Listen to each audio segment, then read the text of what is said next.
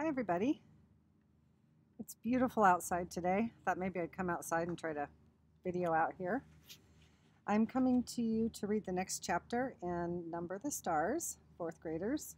I hope you enjoyed that first chapter. This is such a great book. Um, remember that today we're going to talk about um, how characters or settings, how some of the details about those um, support the plot in the story. So this next chapter is called Who is the Man Who Rides Past? It's not a really very long chapter. What I want you to be thinking about now is what the point is of this chapter. Tell me a story, Annemarie, begged Kirsti as she snuggled beside her sister in the big bed they shared. Tell me a fairy tale.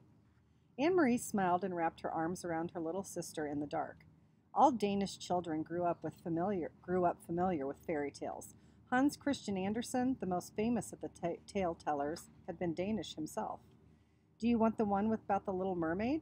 That one had always been Annemarie's favorite, own favorite. But Kirsti said no. Tell one that starts with a king and a queen, and they have a beautiful daughter. All right. Once upon a time there was a king, Annemarie began. And a queen, whispered Kirsti. Don't forget the queen. And a queen. They lived together in a wonderful palace, and and was the place named Amalienborg? Kirsti asked sheepish, sleepily. Shh, don't keep interrupting or I'll never finish the story. No, it wasn't Amalienborg. It was a pretend palace. Annemarie talked on, making up a story of a king and queen and their beautiful daughter, Princess Kirsten. She sprinkled her tale with formal balls, fabulous gold trimmed gowns, and feasts of pink frosted cupcakes until Kirsti's deep, even breathing told her that her sister was sound asleep. She stopped, waited for a moment, half expecting Kirsti to murmur, Then what happened? But Kirsti was still.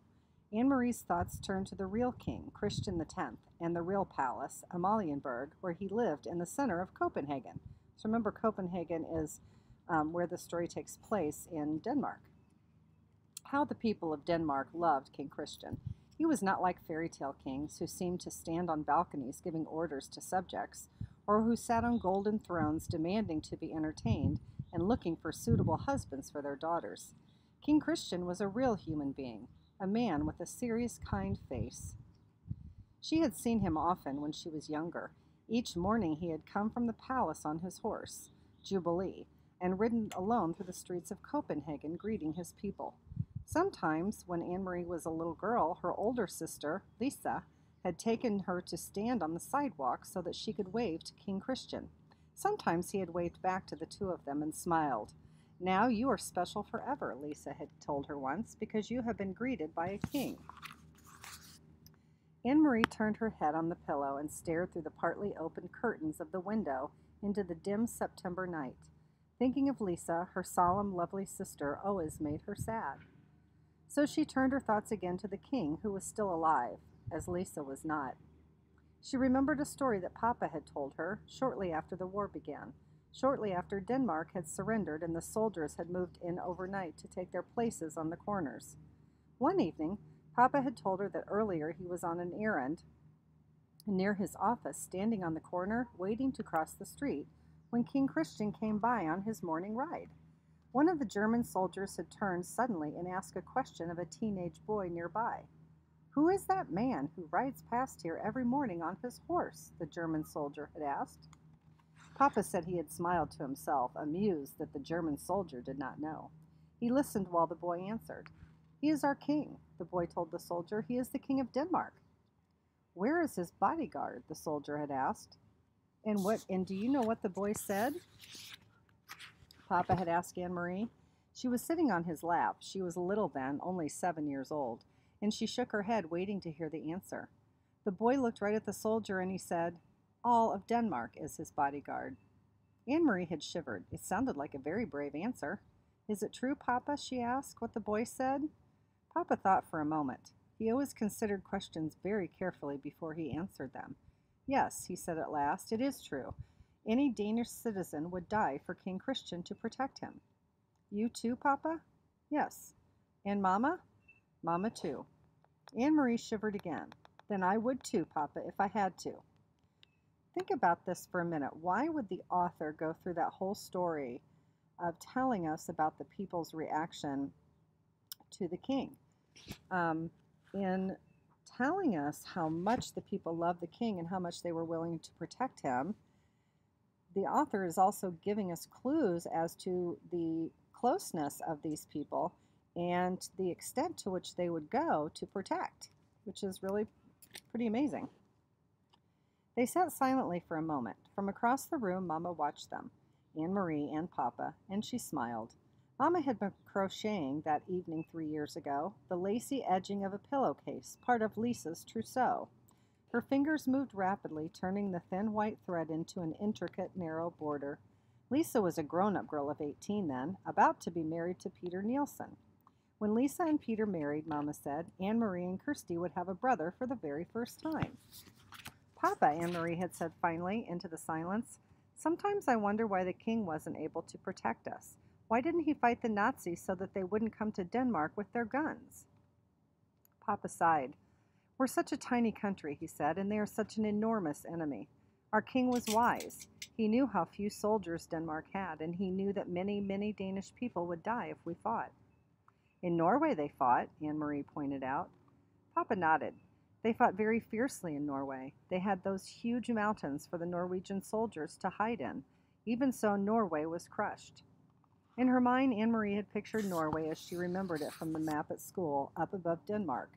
Norway was pink on the school map. She imagined the pink strip of Norway crushed by a fist. Are there German soldiers in Norway now, the same as here? Yes, Papa said. In Holland, too? In Holland, too, Mamma added from across the room, and Belgium and France. But not in Sweden, Annemarie announced, proud that she, she knew so much about the world. Sweden was blue on the map, and she had seen Sweden even though she had never been there. Standing behind Uncle Henrik's house north of Copenhagen, she had looked across the water, the part of the North Sea that was called the Kattegat, to the land on the other side. That is Sweden you're seeing, Uncle Henrik had told her. You are looking across to another country. That's true, Papa has said. Sweden is still free.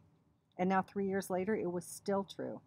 But much else had changed. King Christian was getting old, and he had been badly injured last fall, last year in a fall from his horse, faithful old Jubilee, who had carried him around Copenhagen so many mornings. For days they thought he would die, and all of Denmark had mourned. But he hadn't. King Christian X was still alive. It was Lisa who was not. It was her tall, beautiful sister who had died in an accident two weeks before her wedding. In the blue carved trunk in the corner of this bedroom, Annemarie could see its shape even in the dark.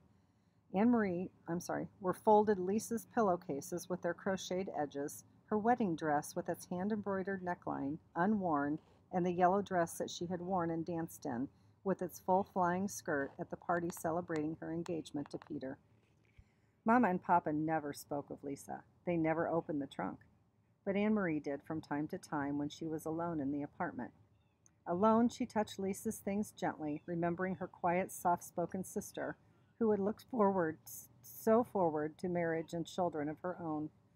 Red headed Peter, her sister's fiance, had not married anyone in the years since Lisa's death. He had changed a great deal.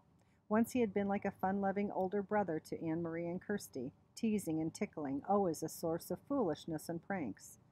Now he still stopped by the apartment often, and his greetings to the girls were warm and smiling but he was usually in a hurry, talking quickly to Mamma and Papa about things Annemarie didn't understand. He no longer sang the nonsense songs that had once made Annemarie and Kirsti shriek with laughter, and he never lingered any more. Lingered means to kind of hang around and talk for a little bit. Papa had changed too. He seemed much older and very tired, defeated. The whole world had changed. Only the fairy tales remained the same and they lived happily ever after, Annemarie recited, whispering into the dark, completing the tale for her sister, who slept beside her, one thumb in her mouth. And that's the end of that chapter. So it was called Who is the Man Who Rides Past? I'm thinking that that's referring to the king. And the message that the author gives us about this character, the king, and about Annemarie and the people of Denmark is that he was very much loved and they would do anything to protect him. So, why would the author give us that message? I think because it tells us what kind of country this was. And so when the Germans have come in and threatened them, um, they're they're terrified because um, they're afraid something's going to happen to them and to their beloved king. So next time, uh, the third chapter is called "Where is Mrs. Hirsch?" So things are going to be picking up pretty soon. So think about um, the setting. So this country, this city, Copenhagen, think about the characters and think about how they relate to what's happening in the story. And also, if the characters were different or if the setting was different, do you think the plot would change? Something to think about. I will talk to you shortly. I'll be um, picking up the next chapter uh, in the next couple hours. See you later.